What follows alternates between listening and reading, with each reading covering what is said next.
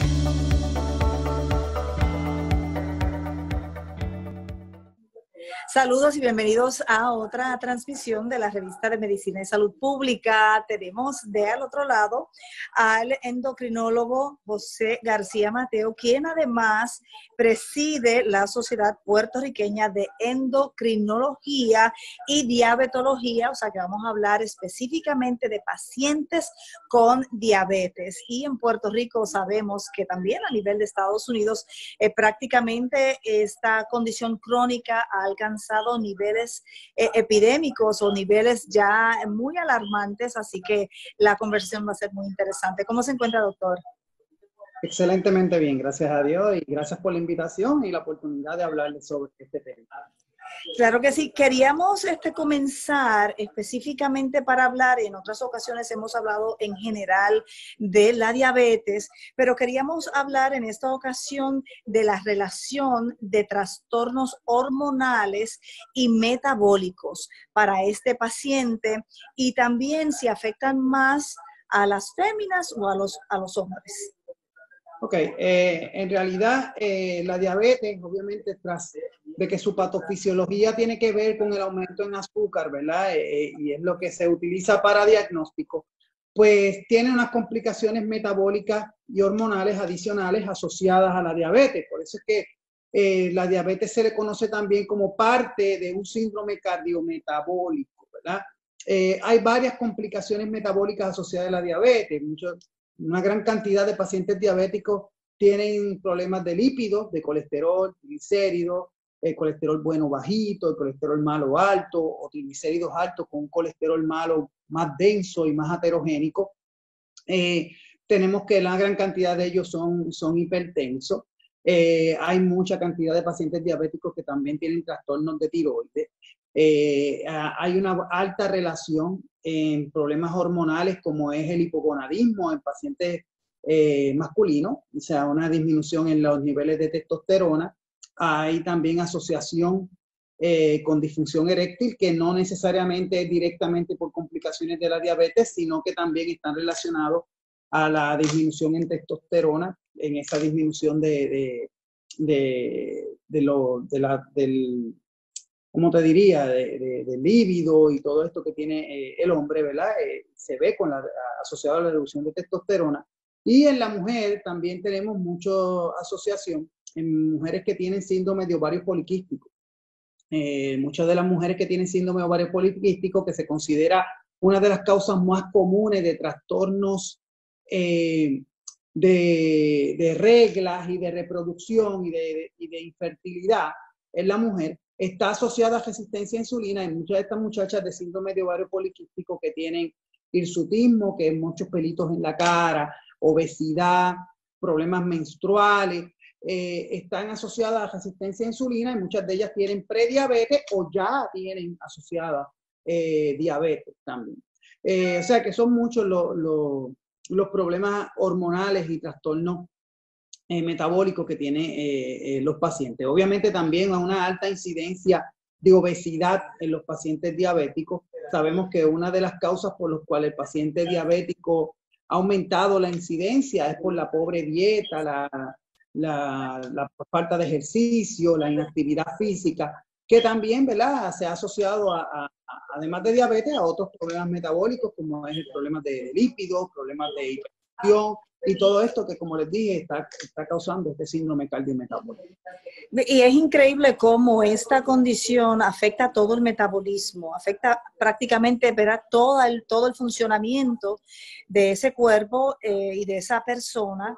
Eh, pero me llama mucho la atención los problemas de trastorno hormonal, así que vamos a ver si podemos hablar de eso primero y después de, de, la parte metabólica, eh, porque quizás hay cambios hormonales que pueden incidir y afectar la diabetes o al revés, que la diabetes podría provocar precipitadamente algún cambio hormonal. Sabemos que la mujer pasa por distintas fases hormonales, ¿verdad? A lo largo de su vida. ¿Cuál es la relación entre, entre esos cambios hormonales y la diabetes?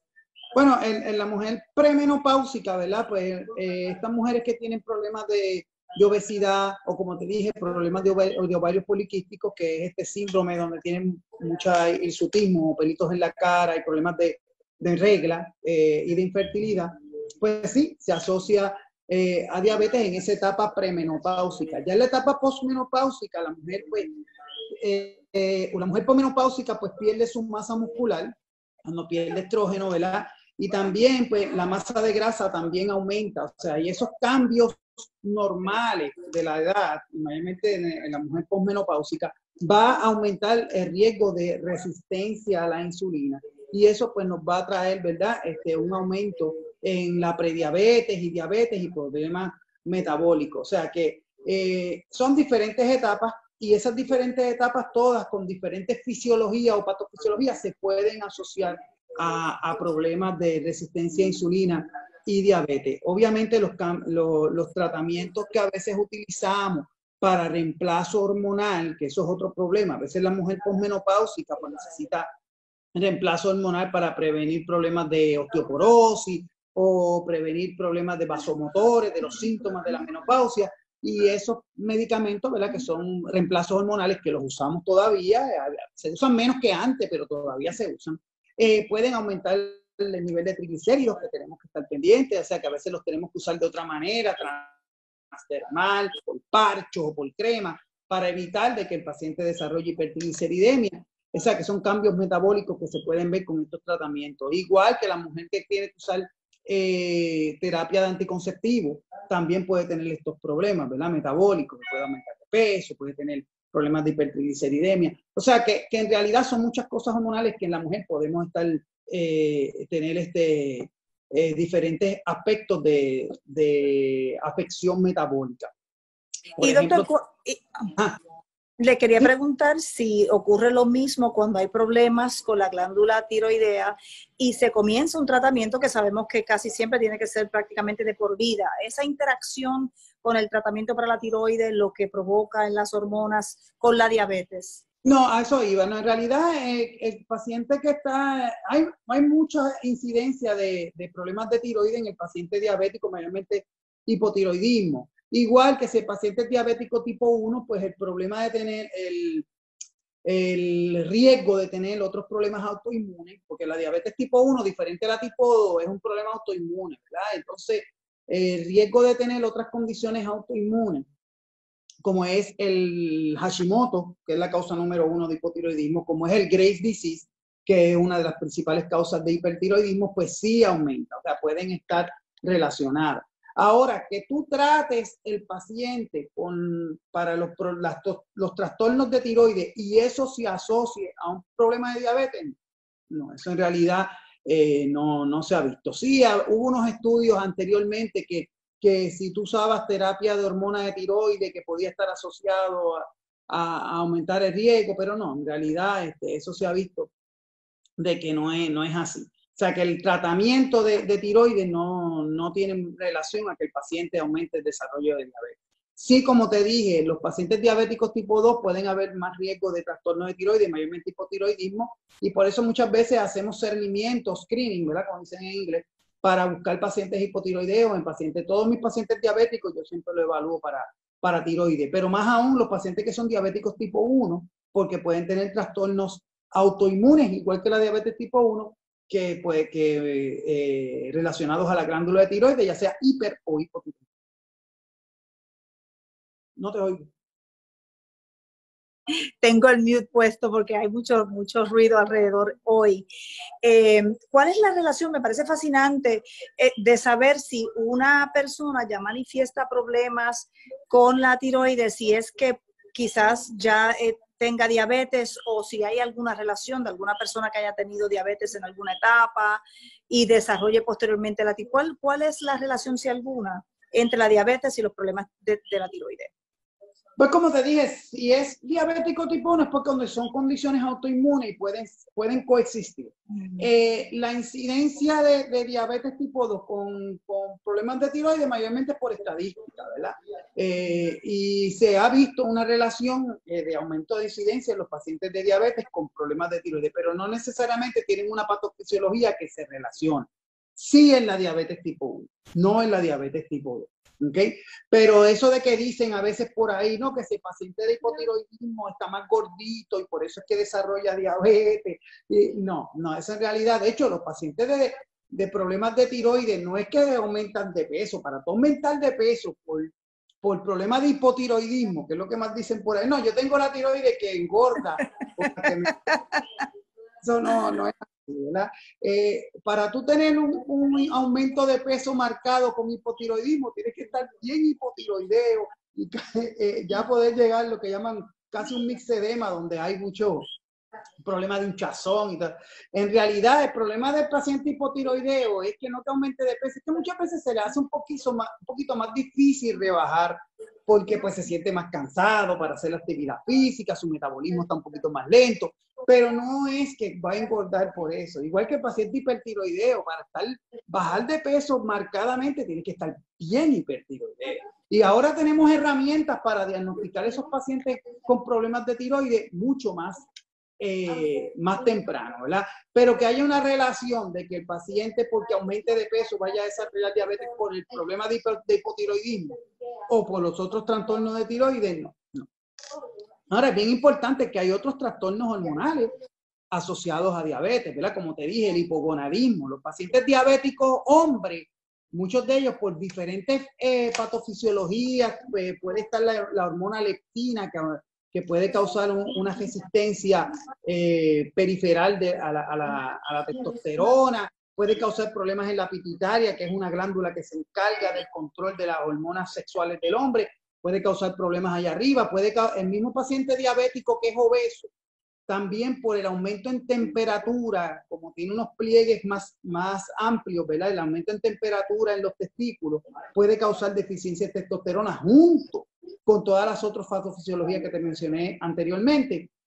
Y eso, el paciente diabético, uno siempre tiene que preguntarle, hombre, ¿cómo está su deseo sexual, su libido, verdad? Para, para determinar si hay que entonces por clínica, no es que todos, todos los pacientes diabéticos hay que hacer un nivel de testosterona, pero para si tienes síntomas que te sugieren hipogonadismo, pues debes hacerle un nivel de testosterona y de ahí partir entonces a hacer unas evaluaciones más adelante para ver si ese paciente se beneficia de un reemplazo en testosterona, porque un reemplazo en testosterona no se le puede dar a todo el mundo. Tiene que estar bien seguro de que ese paciente necesita, necesita un reemplazo de testosterona y que los beneficios son más que los riesgos. Aunque los riesgos son pocos, pero sí hay poblaciones que uno tiene que evaluar otras cositas para poder dar testosterona.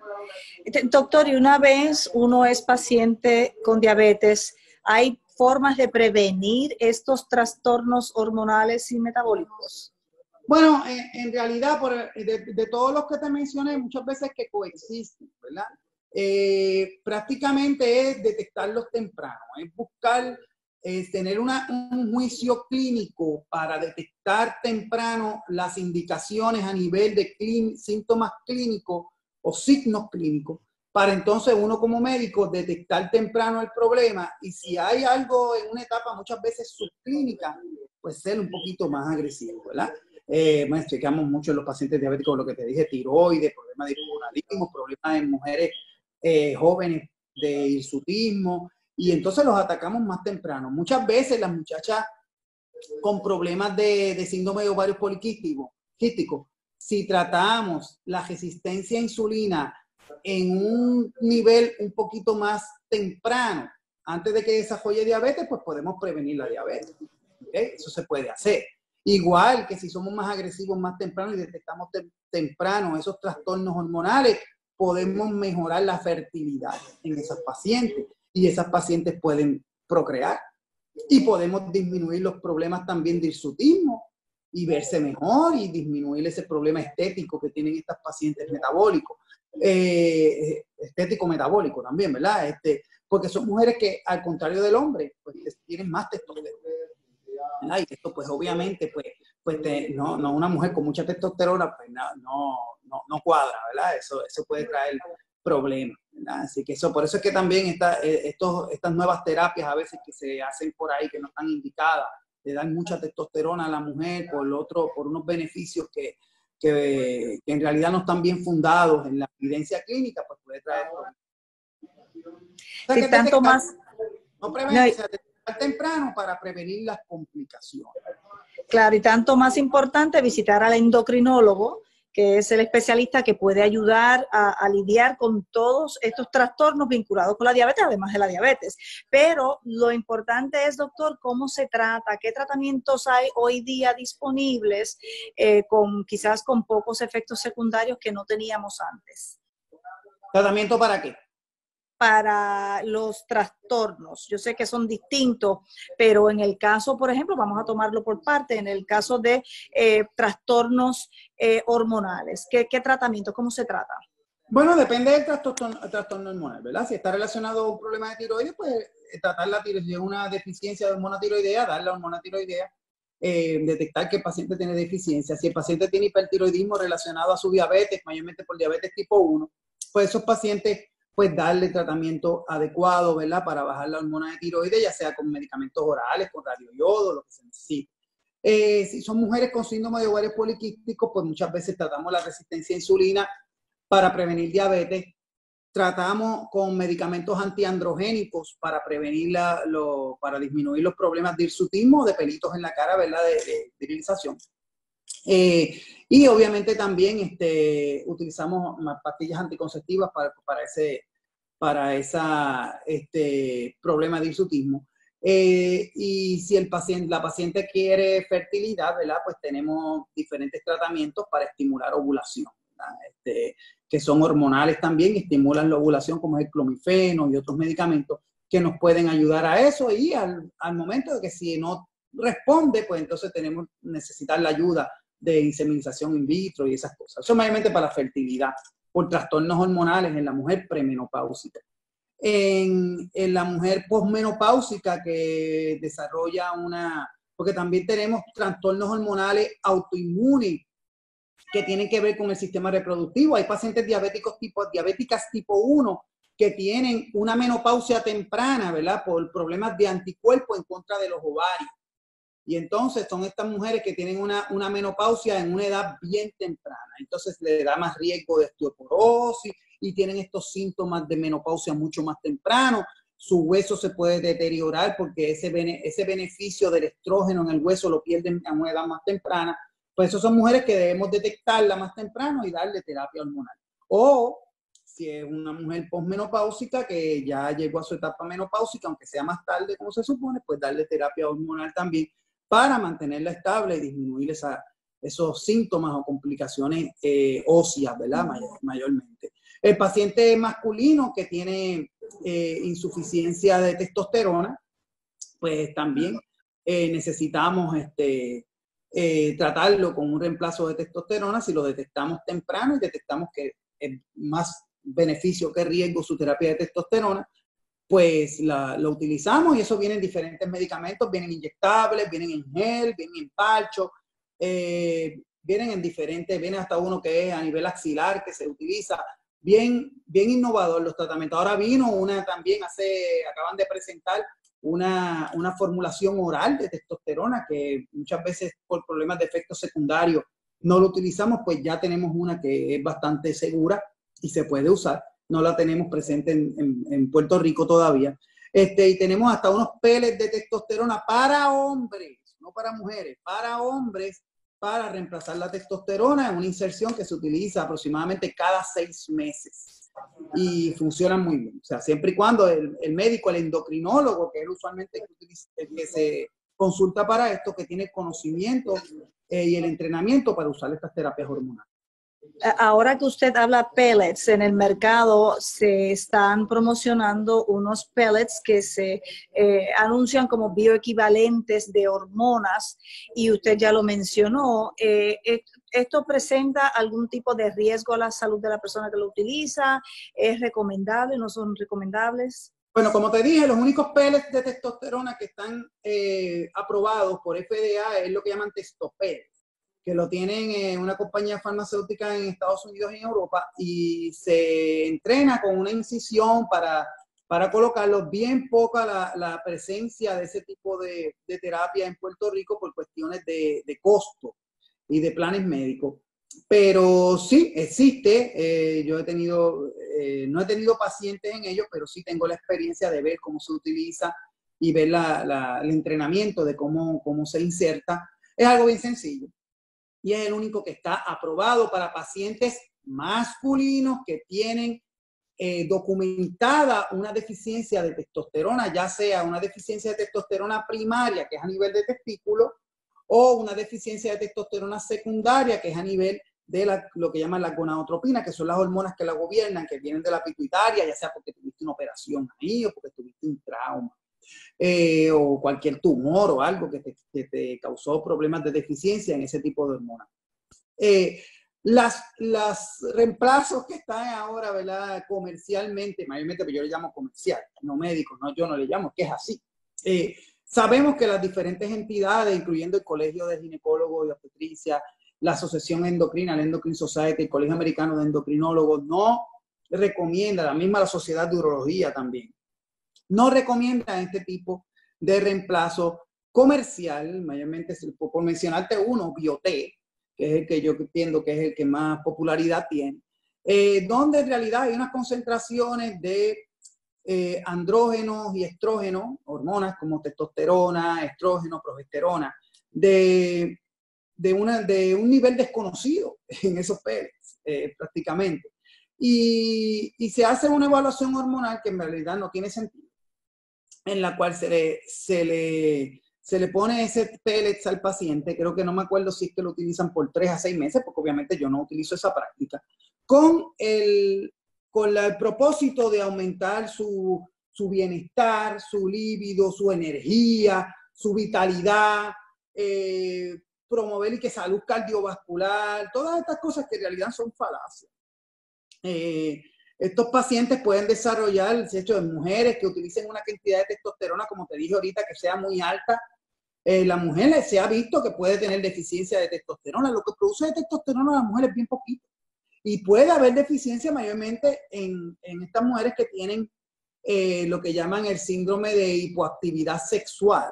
Y hay estudios que un reemplazo leve de testosterona se ha recomendado en algunas pacientes con ese diagnóstico pero por beneficio de bienestar y de, salud y de belleza y que tu piel se va a ver mejor y todas esas cositas, definitivamente no.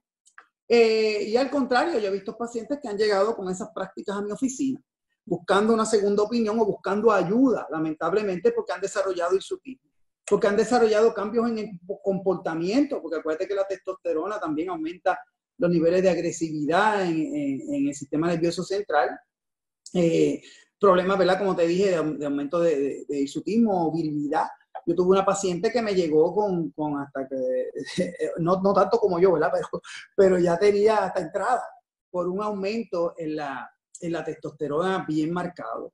Eh, y lamentablemente eso cuando te lo pones se absorbe en el cuerpo y tienes que esperar que se te vaya. O sea que eh, hay evidencia de que puede haber aumento en hipercoagulabilidad, de coagulabilidad de la sangre, trombosis, eh, algunos estudios dicen que sí, otros dicen que no. Hipertrofia del ventrículo, algunos estudios dicen que sí, otros dicen que no. Pero en, en, en exceso, ¿verdad? Pues como no, no se sabe cuánta cantidad de andrógeno o diferentes hormonas tienen esos peles, pues puedes tener todos los efectos secundarios que puede haber con exceso de hormonas, como pues hipercoagulabilidad, como te dije, trombosis penosa, eh, problemas de hirsutismo, agresividad, eh, eh, física, o sea, agresividad del paciente. O sea, que en realidad esto pues no es una, una terapia recomendada. Las últimas recomendaciones del Endocrine Society fueron claras en que eso no se debe hacer. Eh, que si tú tienes hipoactividad sexual, puedes considerar en una mujer utilizar un poquito para, para con, con, mucho cuidado y evaluando unos niveles de testosterona que estén en el low normal, para entonces que sea un poco más safe. Pero con todo y con eso, la práctica, si yo he tenido experiencia en tres o cuatro pacientes, ha sido mucho, eh, con mucho cuidado, he tenido éxitos en algunas. Si tú tienes ese paciente en tres meses y no te responde su hipoactividad sexual al poquito de testosterona que le estás dando regulado, FDA approved. O sea, FDA approved para hombres, porque para mujeres no hay ninguna testosterona. Lo estamos usando por juicio clínico, pero con un monitoreo bien continuo como lo dice la Asociación de Endocrinología, ¿verdad? El Endocrine Society, pues lo podemos hacer. Pero bien, bien importante que eso es recomendaciones de expert opinion, no es una recomendación por FDA. Pero sí lo hemos hecho, pero con ese tipo de, de terapia, no con pellets de los que están comercialmente. Doctor, ¿y hay tal cosa como hormonas eh, naturales de plantas o de alguna otra? siempre comercialmente se han visto los fitoestrógenos, ¿verdad? Que se han recomendado con diferentes de ellos. Eh, una gran gama que se consiguen hasta, hasta por Amazon, los puedes conseguir. Eh, en realidad, pues, se han hecho varios estudios. Ninguno de estos medicamentos están regulados por FDA, tienen este, una, una aceptación por, por, por, como, fueran, como si fueran suplementos adicionales, pero no son FDA, o sea, que no están aprobados para tratar. O sea, y, pues hay pacientes que, que, lo han usado over the counter y la, el efecto en, en los beneficios de estrógeno, vasomotores, a nivel de de vaginitis atrófica, que es para lo que se usa mayormente los estrógenos, o para, y de hecho, para a nivel de hueso, pues prácticamente a nivel de hueso no tienen ningún beneficio. Y a nivel de los síntomas, pues han sido muy variados. Y muchas veces se le, se le da, se le echa la culpa al efecto placebo. Pues, lo estoy tomando y eso pues me, me, está ayudando. Y en realidad, fisiológicamente, no, no debe estar ayudando mucho. De hecho, la el compuesto bioquímico, si tú lo miras, si vas bioquímicamente y ves el compuesto bioquímico de esos fitoestrógenos, se parecen al estrógeno, pero porque se parezcan bioquímicamente, que eso es lo que alegan ellos, ¿verdad? A nivel comercial no quiere decir que, que tengan el mismo beneficio clínico eh, cuando tú lo utilizas. O sea que si tú tienes una deficiencia de hormona con síntomas, mayormente esa mujer posmenopáusica, una menopausia temprana, o por ejemplo, una mujer que perdió sus hormonas más temprano porque tiene un, un, problema genético, que lo hay, o sea, Turner Syndrome o, algún problema de, eh, de desarrollo en el, embriológico que no desarrolló bien los ovarios, pues esas terapias hormonales se pueden usar hasta más temprano y funcionan, pero son terapias hormonales aprobadas por FDA, estrógeno, ya sea estradiol, o sea estrógeno conjugado, o medroxiprogesterona, ya sea CD cíclico, CD continuo, dependiendo de la edad del paciente, si la paciente todavía se beneficia de tener reglas, o tiene útero o no tiene útero. Todas esas cositas hay que tenerlas en, mente para tú tratarlo. Si tiene triglicéridos altos, si tiene diabetes, si tiene otras condiciones cardiovasculares. O sea, todo eso hay que tomarlo en cuenta. De hecho, hay calculadoras, hay una calculadora bien, bien buena que yo se la recomiendo mucho a los muchachos que están estudiando y que están jotando conmigo, del Menopause eh, del North American Menopause Society, la Sociedad de Menopausia de Norteamérica. Hay como una calculadora, es una application. Y tú entras toda la información de la paciente que tú consideras dar reemplazo hormonal y te dice si es adecuado, si es seguro, ¿verdad? Te da una idea, no es un dogma de fe, ¿verdad? Pero te da una idea de si es adecuado eh, y seguro darle a esa paciente eh, una terapia de reemplazo hormonal. Y nos ayuda mucho y, prácticamente para, para, uno tener, nos ayuden en juicio clínico, porque puede salir que te, que, que te diga que sí, que te lo dé y tú como el juicio clínico dices que no y viceversa. O sea, que en realidad, pero son herramientas que tenemos ahora por la tecnología que nos ayudan mucho. Pero bien importante que cuando vamos a hacer un reemplazo hormonal sea un reemplazo aprobado por FDA o que tenga, o sea, una recomendación de una entidad que maneje este tipo de condición hormonal. Mayormente sociedades endocrinas, si es mujer también están las sociedades ginecológicas. La urología también tiene que ver mucho con lo de reemplazo de testosterona en el hombre, por ejemplo. O sea que, que son diferentes condiciones que, que tenemos que tratar, pero con mucho cuidado eh, para poder ser exitosos, ¿verdad? Y que nuestro paciente esté seguro con ese tipo de terapia, porque si se nos va la mano o se usa algo que no se debe usar, pues podemos traer más eh, problemas que beneficios. Claro, y siempre bajo la supervisión de un médico, de su médico. De un especialista en reemplazo hormonal. Eh, usualmente, pues nosotros los endocrinólogos somos los que tenemos ¿verdad? el entrenamiento, pero hay pacientes, por ejemplo, que tienen deficiencia de testosterona que, que tienen el urólogo, que también tienen un entrenamiento ¿verdad? que pueden eh, considerarse. Ya hay urólogos que me envían los pacientes para darle testosterona y otros que la manejan muy bien también. De eso depende de, la, de cómo se sienta el clínico. Eh, pero usualmente nosotros somos los que reemplazamos hormonas, somos los, los, expertos, ¿verdad? Como dicen, eh, en hormonas y en reemplazo, pues, pues también. Pero todos estos, todos estos problemas también están asociados a problemas metabólicos como, como diabetes, estos problemas hormonales. Y de los metabólicos, como querías añadir, pues los lípidos es uno de los más importantes. Así que esos pacientes diabéticos tienen que estar en estatinas para disminuir problemas cardiovasculares, mayormente si son más de 40 años o si ya tienen factores de riesgo o enfermedad cardiovascular documentada. Pues muchísimas gracias, doctor, por habernos acompañado y haber aclarado esas dudas que estoy segura que tiene mucha gente. Así que será hasta una próxima ocasión. Muchísimas gracias, doctor. Gracias por la, por la oportunidad, ¿verdad? Y, siempre tratando, siempre se nos quedan cosas porque hay muchas condiciones hormonales eh, asociadas también en la diabetes que no mencionamos, pero si tenemos otra oportunidad después, pues la podemos discutir.